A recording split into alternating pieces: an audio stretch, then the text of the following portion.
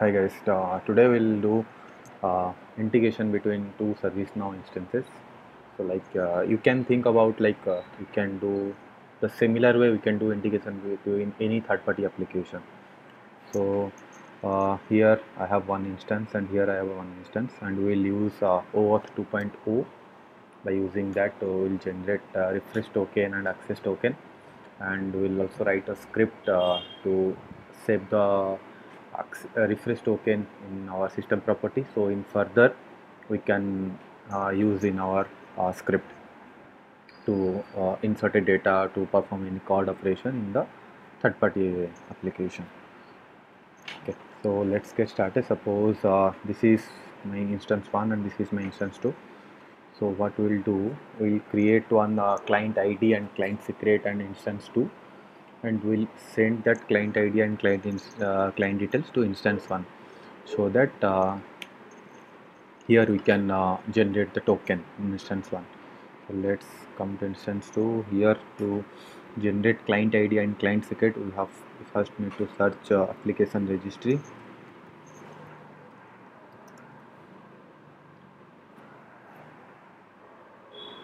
So here I have to click on new so this instance like uh, we'll be providing our client id and client request. So we have to click on click on yeah you have to click on this fast url uh, OAuth API endpoint for external clients. So once we'll click on this so you can see automatically one client id got generated. Client secret no need to type. It will generate automatically. If i will type something uh, let's uh, give this instance id here.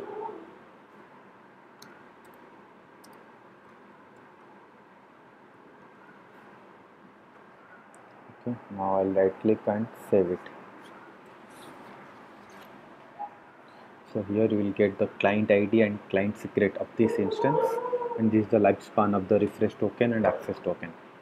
So what we will do now now we'll go to instance 1 and here also we'll search for application registry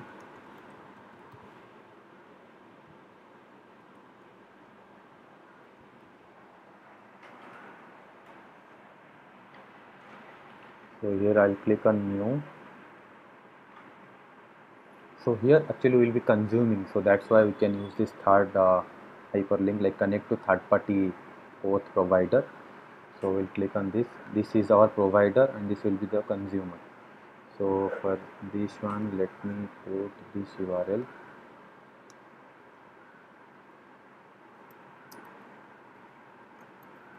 consumer. So client id will be this one. Let's copy and paste it. And client secret will be this one. Copy and paste. Apart from that we have to add one more token url so what will be token url you have to copy the base url of uh, the provider instance. Suppose you are using some amazon is provided you some uh, client id and client secret then you have to use the amazon token url how to generate the token url of amazon. So it will be base url and last. Oauth underscore token dot do once you log this it will uh, set. Like if you are using amazon as i said then you have to ask uh, your client to give your amazon token url they will provide it to you. So once you'll get it you can right click and save it. You'll see automatically one authentication profile you created below. You scroll down you can see here one profile got created. Uh, let's go to uh, let's see our rest message is working or not so here you can see I have used the grant type as resource owner uh, password credential. So first time it will ask you for uh, user ID and password to generate the access token. Let's go to rest message.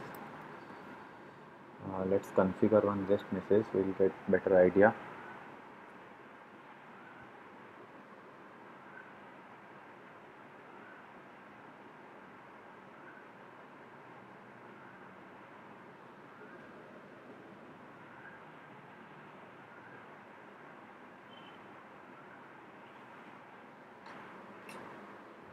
this will be let me create a new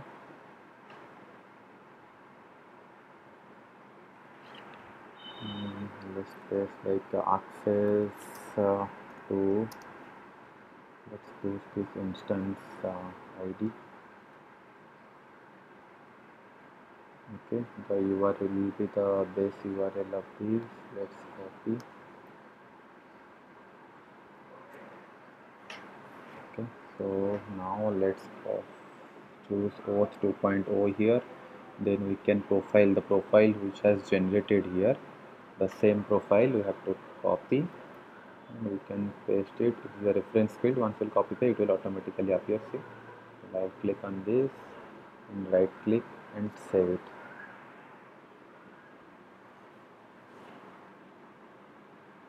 Okay. Once it will save you can see one uh, yellow color uh, suggestion is coming. Like auth access or refresh token not available. You have to verify this. You can see in the below there is one link got generated get auth token. If you will click on this it will ask you for username and password. So we, uh, let's uh, create one user account in the provider instance this instance so that by using that user account user detail user id and password and this client id and client secret this instance will generate access token and refresh token. Not generate like this instance will get the access token and refresh token of this instance. So actually i have already set up one user profile. Let me show you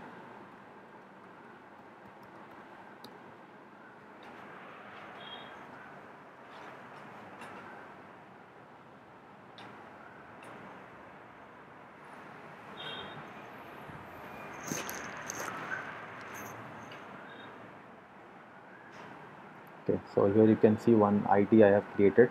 Uh, user id is token.id you can create some id and you can set up your password. Uh, let's use this id i'll click on this. Now here i'll pass my token dot id the username and the password. Let's see the token is getting generated or not. Yeah see you can see a message like our oh, token flow completed successful. That means token has been generated. It will show also one more message over here. It's supposed to let's see yeah available and it will expire at this time. So how the expire time is getting calculated if you have seen here I have already told like uh, refresh lifespan token lifespan is there. So based on these are in seconds. So based on this it will show you the expiry date time. So now uh, we are able to generate the token. Let me see. There is one token table actually. We can uh, see. There also the token will get stored. Minus token I guess. Yeah minus token. See here we have created this instance 49545 49545 see. If I right click and show matching you will get uh, you will see refresh token and access token. Both things were generated. So it is generated and storing in the out of the box auth credential table. So uh, our next motto will like uh, will not uh, regularly we can come to this message and click on that hyperlink. We have to automate that process. To automate that process we have to write some script. Let's do one thing. Uh, we'll create one system property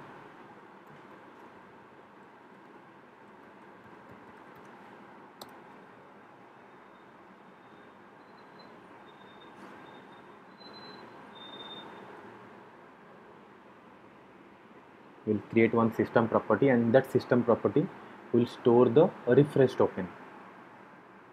And uh, in future we will use that refresh token and we will uh, communicate with that this instance by using that refresh token.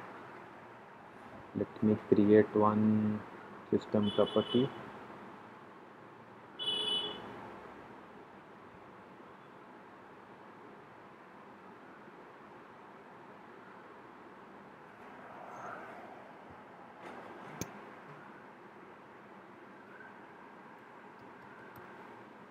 store this token in this instance. Id dot token. Let's save this. Now we have created one system property. To store that value in this uh, in this we need a particular script. So that script should execute based on the lifespan of this access to refresh token so let's uh, we'll create one schedule job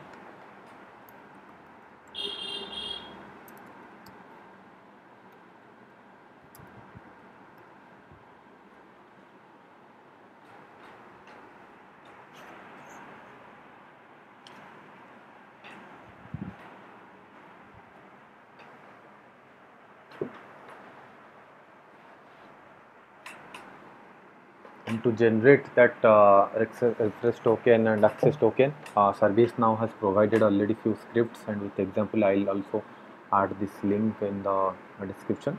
Here you can see it has given few suggestions with example how can you use this particular class what are the parameters it is uh, accepting. We'll use the same function and same parameter what is provided over here. Here we have to pass the grant type as password and username and password. That's it. And it will generate the token for you uh, if I'll come here schedule job uh, let's uh, actually I have created one script include with the same script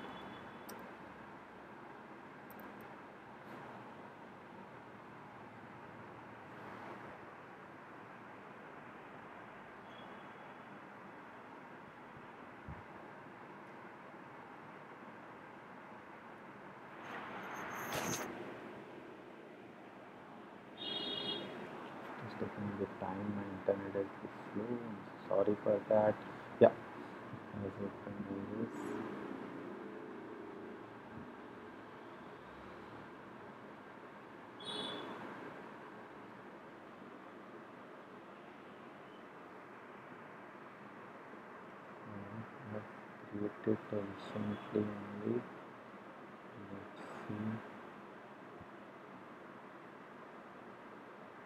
Yeah generate token. I've created one script include and here I have only pasted the same script whatever ServiceNow has provided here. So let's see the script. Only we need to change the username password and then the the application registry name the application registry name which one we have generated over here so this is our application registry this is the name let me copy this generate token let me paste it over here control v let's save it okay so now we have to store the refresh token to store the refresh token in the system property. What we have to do here gs dot set properties i guess. Set property. I think it is not showing in suggestion but let's see it is storing or not. Set property. Will store the property name the refresh token. It will give you with this function property this one we copy the name of this one and we'll paste it over here. Let's paste this in our background script to confirm this it is working or not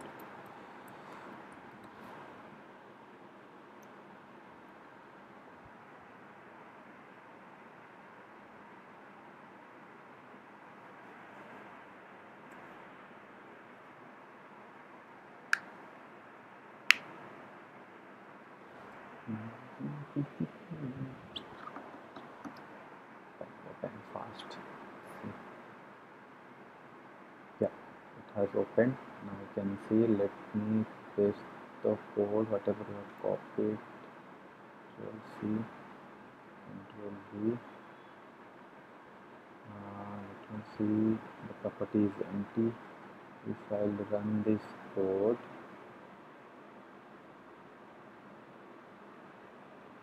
Okay it is showing something. Yeah you can see the property has been set here so to generate that always what we have to do let me go to this here let me save this script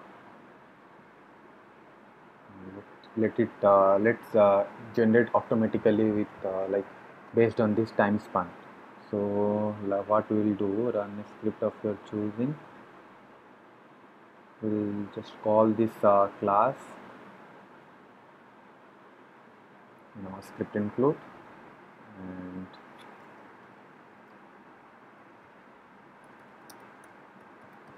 change the token. So it will execute uh, periodically. And uh, or else we can execute it uh, yeah let's execute it periodically. Um, every one day. Otherwise we can do it execute it daily uh, daily we can mention sometime like uh, 12 it will generate what we will do here new we'll call that script include straight away no need to do anything. So it will uh, whatever logic you have mentioned inside this it will execute and it will store the data. And this let's empty this record. Let me store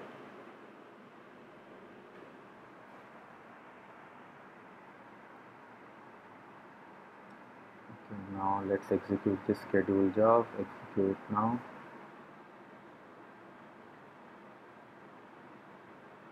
It didn't store I guess. Let's refresh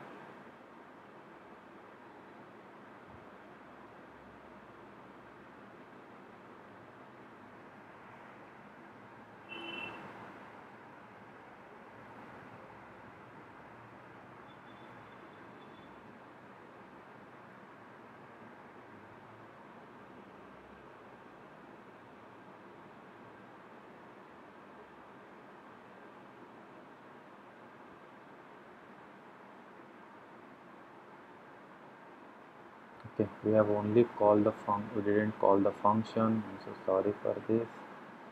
Let me copy the function name control C will have only called the class dot control V. So that it will be this will be the class and will be function inside that class. Let me save this.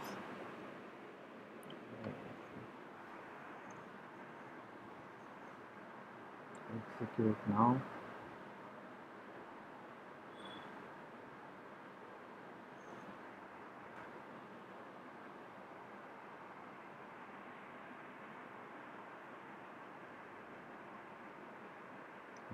again it didn't update did some silly mistake it seems. Let's see.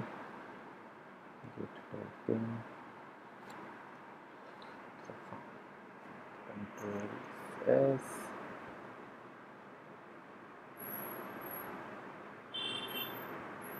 Execute now